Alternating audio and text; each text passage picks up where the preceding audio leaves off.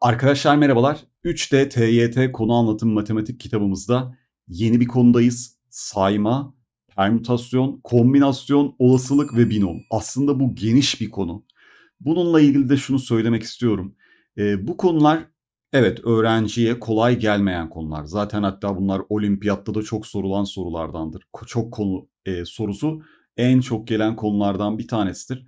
Ucu çok açık. Bir sürü soru tipi oluşturulabilir. O yüzden e, zorlayabildiğiniz kadar zorlayabilirsiniz aslında buradan. Çok enteresan sorular üretilebilir. Ama ÖSYM biraz daha insaflı açık söylemek gerekirse inşallah bu insaflılığını devam ettirir. Çünkü azıcık zorlasa bile gerçekten bu konu zorlaşabiliyor. Ama şunu da belirtmem lazım. Bu konuya aslında yeterince çalışılmıyor. Birçok öğrenci bu konudan yeterli verimi alamamasının sebebi hak veriyorum bazen öğretmenlerin bile kafası karışır bu konuda. Öğretmene götürürsün soruyu bir böyle bocalar falan. Evet o açıdan hak veriyorum. Yani öğretmenin bile zorlanacağı bir konu olabiliyor.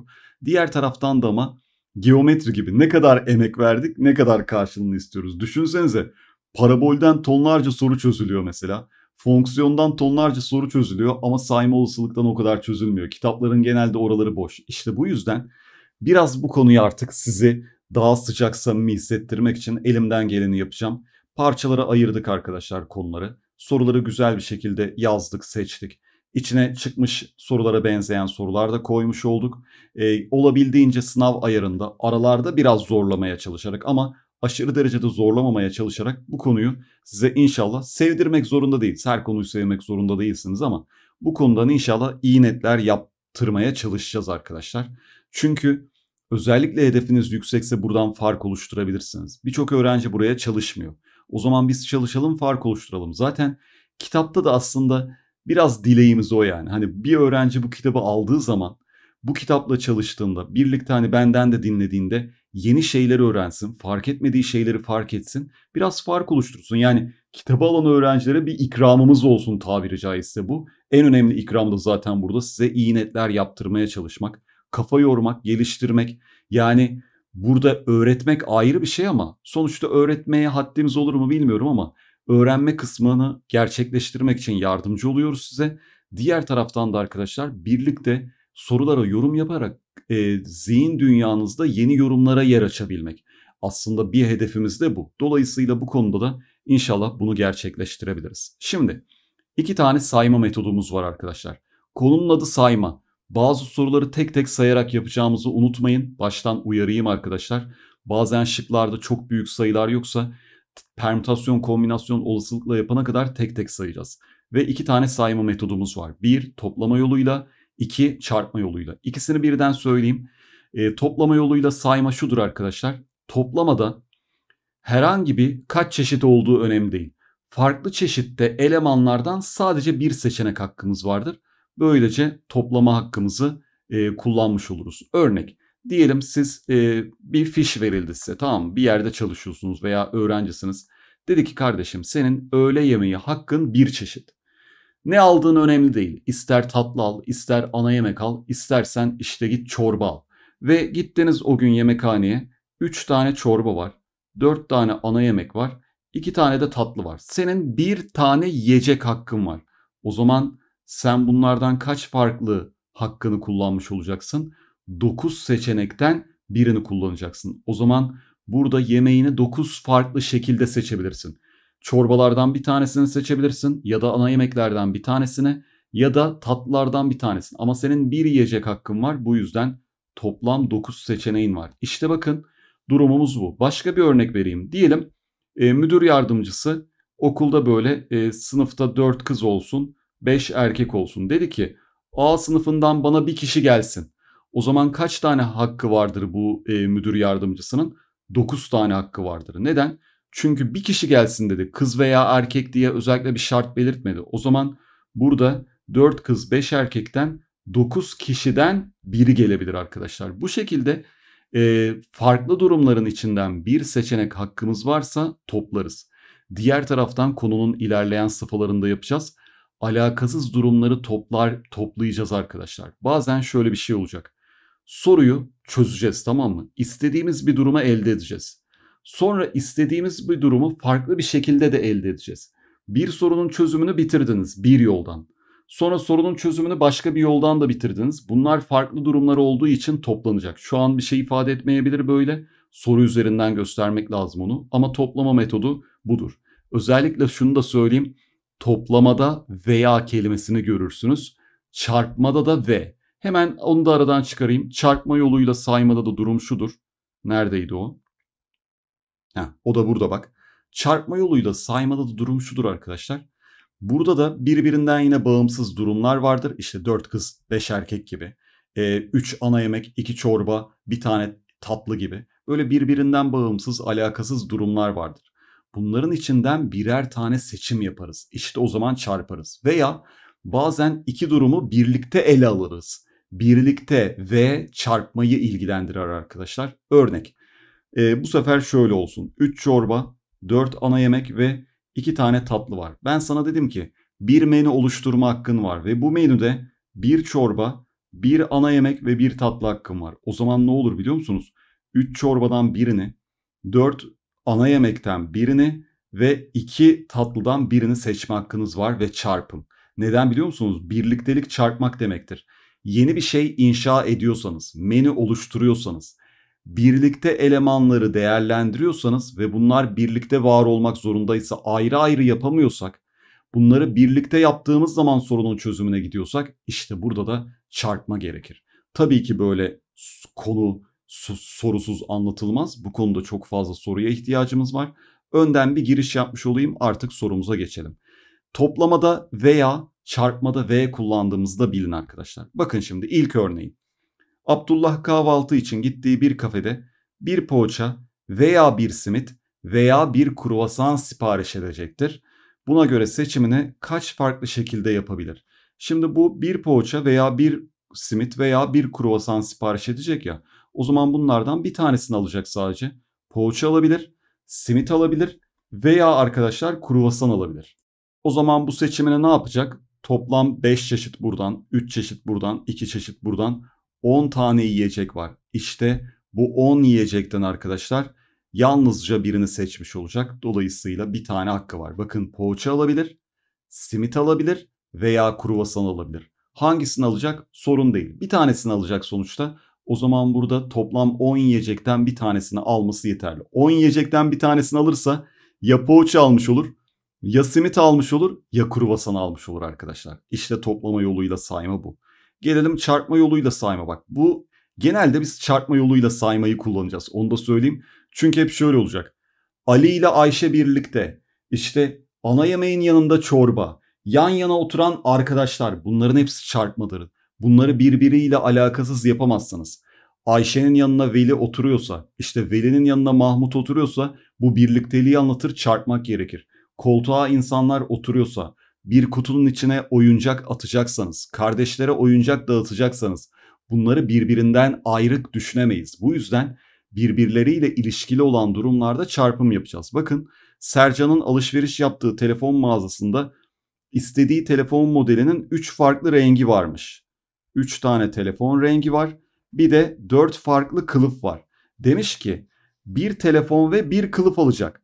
Bu telefona uygun bir kılıf. O zaman 3 telefondan birini seçecek ve bu seçtiği telefona da bir kılıf seçecek. Nereden? 4 kılıftan birini. İşte 3 çarpı 4. Niye?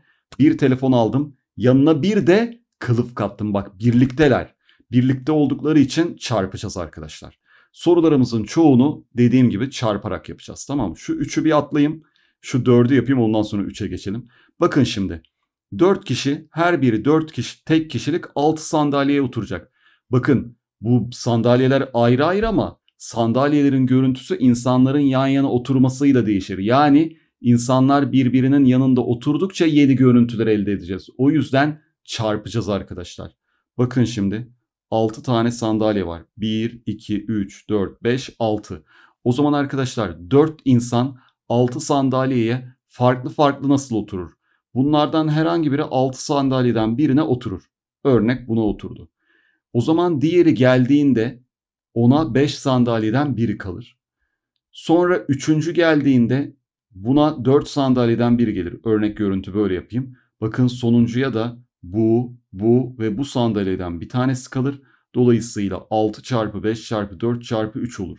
Bu da ne yapıyor o zaman? E, 360 yapıyor. Gördüğünüz gibi birlikte oturacaklar, yan yana oturacaklar veya karışık oturacaklar. Tiyatro şeyi gibi düşünün. Dert değil ama hani bir nevi tepeden baktığınız zaman bu insanların buralara oturmasına göre görüntüler değişecek. O zaman bunların oturdukları yer birbirlerinin oturduğu yeri e, etkiliyor. Örnek Ali burada oturduğunda artık mesela bir tanesi buraya oturamıyor. Ayşe'nin canı buraya istese de mecburen oturamayacak. Buraya gelecek mesela Ayşe. Bak birbirlerini etkilediler.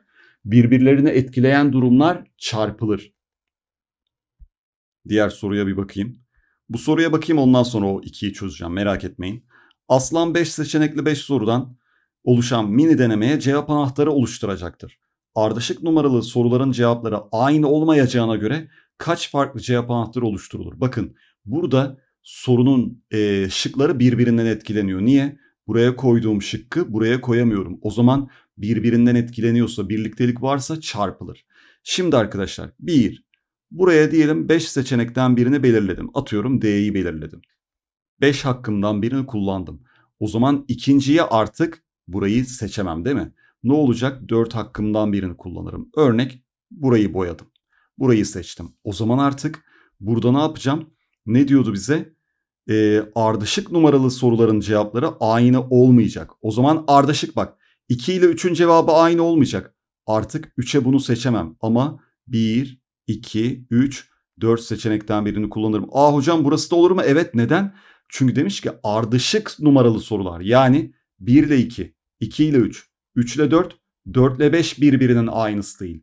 Eğer soruda şunu deseydi her soru farklı seçenekle oluşturulması deseydi tamam onun cevabı farklı olurdu. Birazdan onu da yaparız. Ama sadece ardışık olanlar birbirine eşit olmayacağına göre 1 ile 2 aynı olmayacak tamam yaptım. 2 ile 3 aynı olmayacak. Diyelim 3'ü böyle yaptım tamam mı? O zaman artık bunu yapma hakkım var, yok. Artık dördüncü soruda yine 4 hakkım var. Sonra örnek veriyorum 4'ü diyelim bunu seçtim. Artık 5'te bu hakkım yok. Yine 4 oldu. Gördünüz mü? İşte olayımız bu. E, 4 üzeri 4 256. 5 ile çarparsak arkadaşlar 1280 oldu. Peki soruyu şöyle sorsaydım. Cümleler bu konuda çok önemli. Her soru farklı bir şık. Bak ikisi aynı değil. Demin ardışık soruların şıkları farklı. Şimdi her sorunun farklı bir şıkkı olması lazım. O zaman birincinin 5 hakkı var. İkinciyi artık sen bunu boyarsan mecburen bunu boyayamazsın 4 hakkın kaldı. Diyelim bunu yaptın. O zaman artık üçüncü bu ve bu olmaz. Neden? Her soru farklı olacak. İkinci e, daha doğrusu dördüncü bu gitti bu gitti atıyorum burayı boyadım. O zaman bu hakkım da gitti. Böylece bakın 4'e 2 tane kaldı. Şimdi 4'ü diyelim bununla boyadım. O zaman bu haklarımın hepsi gitti. Sonuncu soruya sadece bir tane hakkım kaldı. Demek ki öyle yapsaymışız soruyu 120 gelecekmiş arkadaşlar. Şimdi gelelim bu sorumuza. N tane atletin katıldığı bir yarışmada ilk 3 derece 720 farklı şekilde sonuçlanmaktadır. Buna göre N-3 kişilik bir gruptan bir başkan ve bir başkan yardımcısı kaç farklı şekilde seçilebilir? Şimdi N tane atletin ilk 3 derecesi nasıl sonuçlanabilir? Ee, sonuçta bilmiyoruz şeyi, e, görüntüyü. Bu N kişiden biri birinci olmuştur. Bir kişi aynı anda hem birinci hem ikinci olamayacağına göre kalan N eksi bir kişiden biri ikinci olmuştur. İkinci kişi aynı zamanda üçüncü olamayacağına göre kalan N eksi iki kişiden de biri üçüncü olmuştur. Böylece arkadaşlar buraya N kişiden biri gelebilir. Buraya N eksi bir kişiden biri gelebilir. Buraya da N eksi iki kişiden biri gelebilir. Birliktelik birisinin birinci olması öbürünün ikinci olmasını, öbürünün üçüncü olmasını etkiliyor. Birbirini etkiliyorsa çarpacağız arkadaşlar. 720 de düşünün hemen 10 çarpı 9 çarpı 8. Demek ki bu 10'muş. Bu 9, bu da 8. N 10 olduğuna göre N eksi 3 nedir arkadaşlar? 7. 7 kişiden bir kişi başkan seçeceğim. O zaman 7 kişiden bir kişi başkan seçtim. Artık o başkan oldu. Yanına bir de yardımcı seçeceğim. Başkan aynı zamanda yardımcı olmayacak. Çünkü bir başkan ve bir başkan yardımcısı demiş. Haliyle arkadaşlar kalan 6 kişiden birinde başkan yardımcısı seçerim. 7 çarpı 6'dan bakın 42 oldu. Birinin başkan olması diğerinin başkan yardımcısı olmasını etkiliyor. Çünkü 7 kişiden birini başkan yapıyorum. Diğeri de yardımcı olunca bunlar birlikte oldular çarpılır. Şimdi gelelim buraya. Berk tabletindeki ABC dosyasındaki ekrandaki 3 klasöre rastgele e, atacaktır demiş dosyalarını. Buna bir yıldız koyalım. Berk önce dosyaları klasörlere rastgele atıyor. Sorularda cümleler çok önemli. E, rastgele atıyor. Daha sonra işlemi geri alıp dağıtımı klasöre en çok bir adet dosya gelecek şekilde yapıyor.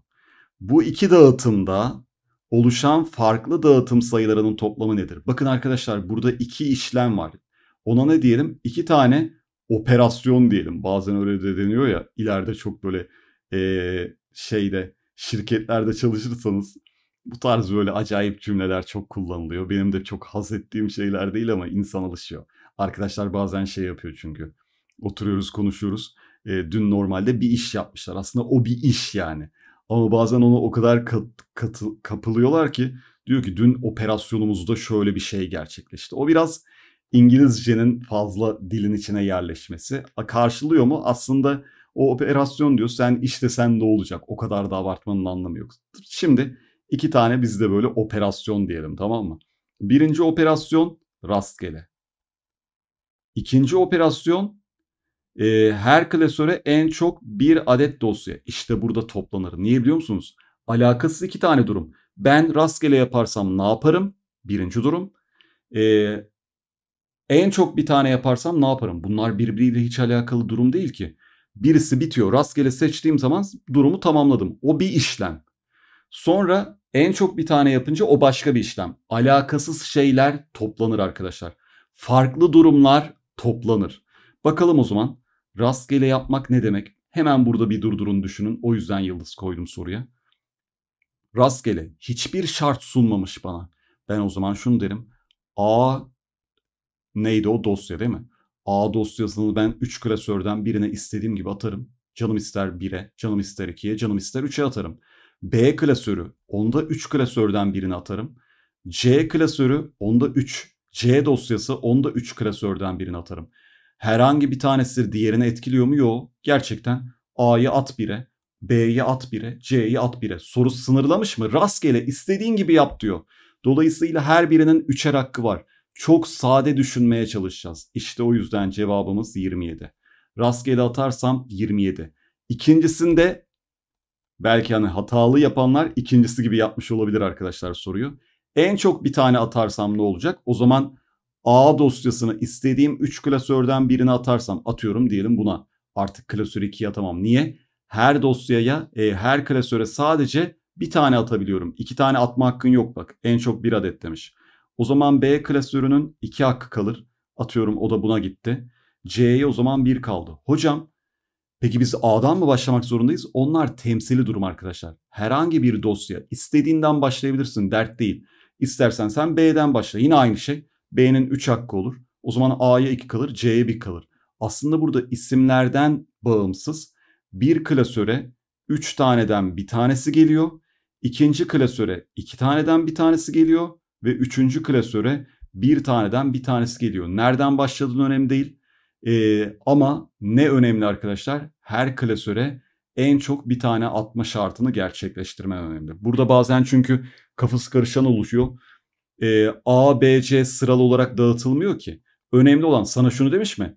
A'dan başlanarak, B'den başlanarak, C'den başlanarak demiş mi? Hayır. Örnek bir görüntü. Hangisinden başlarsan başla Birinin 3 hakkı var. Gönlünce gidebiliyor istediği yere. Diğerinin 2, öbürünün 1 kalıyor.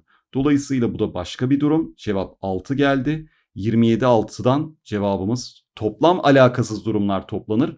33 farklı dağıtım oldu. Yol soruları arkadaşlar. Enteresan yol soruları yapacağız. Yukarıda A, B, C kentleri arasındaki yollar gösterilmiştir. Buna göre A'dan C'ye kaç farklı şekilde gidip dönülebilir? Tamamen seçenektir arkadaşlar. Farklı seçenekler çarpılır birbirine etkiliyorsa. Çünkü ben A'dan şimdi C'ye gideceğim. Nasıl gidebilirim? Bir, direkt A'dan C'ye transit böyle giderim arkadaşlar. İki yoldan birini kullanırım. Bitti. A'dan C'ye bak. Eğer demin söyledim ya operasyon tamamlanıyorsa artık orada durum bitti. Yeni duruma geçeceksen artı yap. Sonuca ulaştığın an cevap bitti demektir. E hocam daha durumlarım var o zaman ekle. Dediğim gibi olay bittiyse, sonuca ulaştıysan yeni durumlar toplanır. Böyle düşünün. Şimdi C'ye ulaştım iki durumda. Tamam o zaman seçeneğimiz bitti. C'ye ulaştım. Yeni durumumuz arkadaşlar daha gideceğiz pardon. C'ye gittik bir de döneceğim. O zaman A'dan C'ye gittikten sonra C'den A'ya aynen geri dönerim. İki yolla dönerim. O zaman 2 çarpı 2'den 4. Şimdi bak bir tanesini yaptık. İkinci durum arkadaşlar. A'dan C'ye direkt yine transit böyle geçerim. İki tane hakkım olur. Dönerken yalnız ne yaparım biliyor musunuz? Böyle herhangi birini kullandım diyelim üst yolu kullandım. Dönerken bu sefer deminki gibi yapmam. Şu yolları kullanırım. Bu olur değil mi? O zaman ne olur böylece?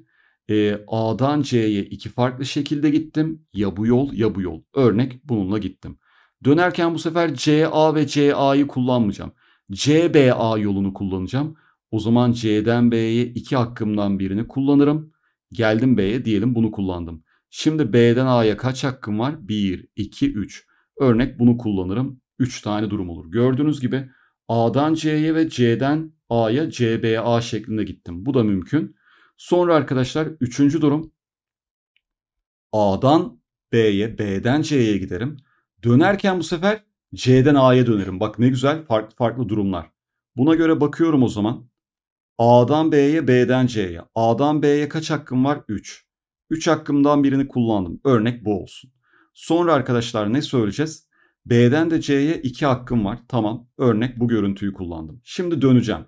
C'den de direkt A'ya döneceğim. O zaman ister bunu kullanırım, ister bunu kullanırım. İki durum. Son durumumuz A'dan B'ye, B'den C'ye. Dönerken C'den B'ye, B'den A'ya. İşte sayma konusunda durumları bazen tek tek tespit etmeniz gerekiyor. Tek hamlede soru çıkmayabilir. Dert değil konunun adının sayma olduğunu unutmayın tamam mı? Buna göre arkadaşlar A, B, C 3 farklı yoldan B'ye ulaşırım. 2 farklı yoldan C'ye ulaşırım. C'ye geldim. Sonra C, B, A'yı tekrar edeceğim. E, C'den B'ye 2 farklı yolla giderim ve B'den A'ya 3 farklı yoldan birini seçerim. 4, 4 kere 3 12, 4 kere 3 12, e, burası da 9 kere 4 36. Böylece ne oldu? 36, 24 daha 60, 4 daha 64 oldu cevabımız. Evet bu bölümde son sorumuz. Aşağıda A, B, C kentleri arasındaki yollar gösterilmiştir. Buna göre A'dan C'ye gidişte kullanılan yollar dönüşte kullanılmamak koşuluyla kaç farklı şekilde gidilip dönülebilir? Örnek görüntü diyelim bunu kullandın ve bunu kullandın. Diyor ki dönüşte o yolları kullanma hakkın yok. Yapalım o zaman. A'dan B'ye 3 farklı şekilde giderim. Örnek bununla gittim. Genelde örnek bir görüntü gösterin anlamak için. Sonra buraya geldim. 1, 2, 3, 4, 5 hakkım var. 5 hakkımdan birini kullandım. Örnek bu yoldan gittim. Dönüşte artık 1, 2, 3, 4 hakkım var. Niye? O yolu kullanamayacağım. Burası iptal. Yine dönerken artık burayı kullanamayacağım. İptal. 2 hakkım var. 15 kere 4 60. 60 çarpı 2'den cevabımız 120 oldu. Sayma konusunun ilki bakın böyle seçenekleri çarpıyoruz birbirine etkileyen durumlarda, birbirine bağlı olan durumlarda çarpıyoruz. Hiç alakasız olan şeyleri de ya da durum bitti. Bir örnek durum yaptım. Tamamen bittiğine göre yeni bir durum yaparken onu da topluyoruz arkadaşlar. İlk olarak böyle söylemiş olayım. Bu dersimizi bitirdik. Saymaya devam edeceğiz. Sonra permütasyona geçeceğiz. Görüşürüz. İyi çalışmalar.